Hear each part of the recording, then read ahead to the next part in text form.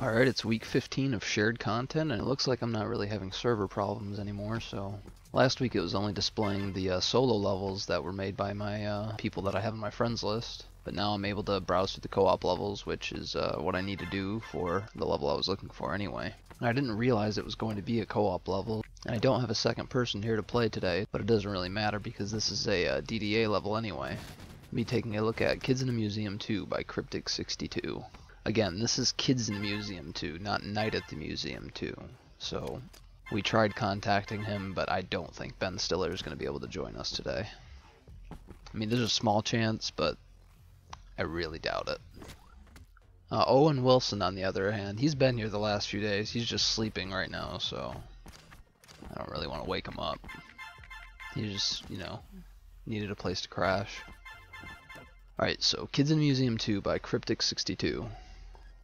So like I said, this is a DDA level, which means, you know, for those of you who don't know, is a don't do anything level. Alright, so before we get started, I just want to take a few seconds to share some words from the creator about their level.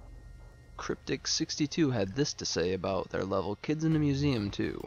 The name refers to a map I made in N1.4. It was the first DDA I made which received any attention. I thought that making a 2 Ninja DDA in N++ would be a fitting tribute. Kids in a Museum 2 took about 3 days to build. For those who have never built a DDA before, it's worth noting how time consuming the testing process can be. The longer the level gets, the longer it takes to add a new element. Multiply that by the fact that getting a new element to behave the way you want can take dozens of iterations.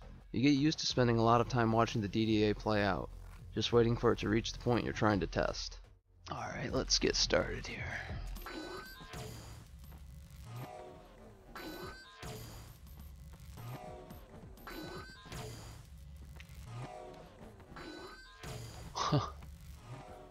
That's pretty cool.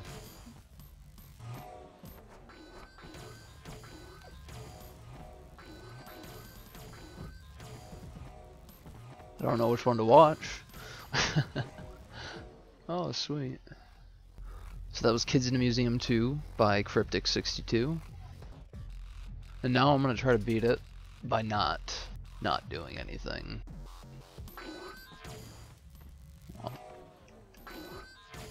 I'm dead. It was pretty much instant.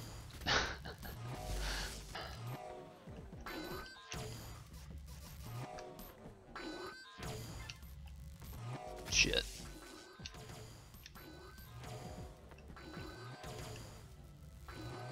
Nope.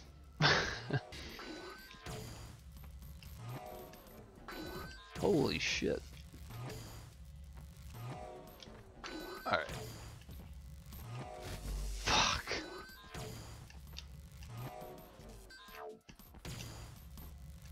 Oh, shit.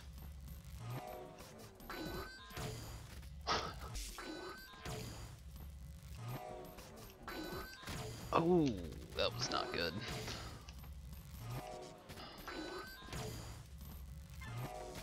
Oh my god.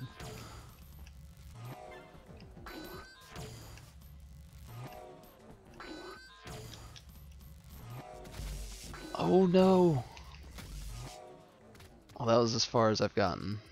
I mean, that's the basic idea. That's what I'm gonna have to do. Is just loop through there real quick. It's way easier said than done.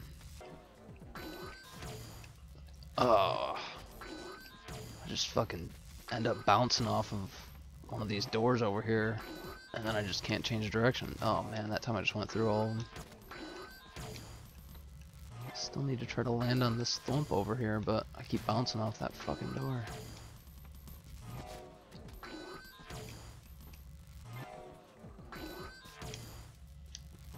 Oh, that was nice. Oh, shit. That was so close.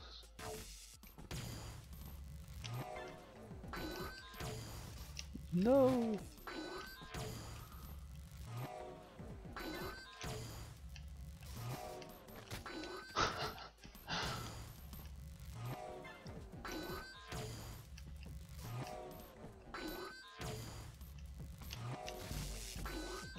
Holy shit.